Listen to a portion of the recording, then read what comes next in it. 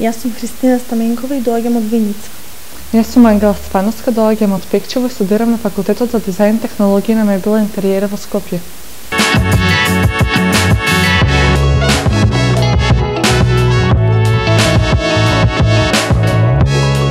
Јас студирам дизајн на мебела и интериер.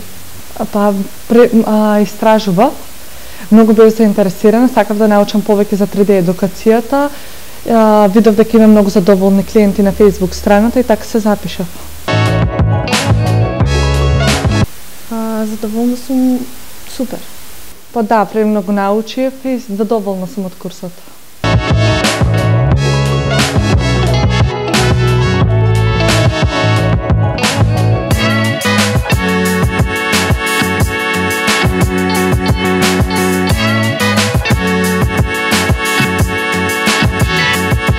На курсот а, научив како да моделирам внатрешен дизајн.